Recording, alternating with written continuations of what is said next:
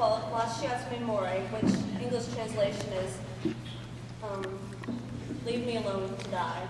Hope you enjoy it.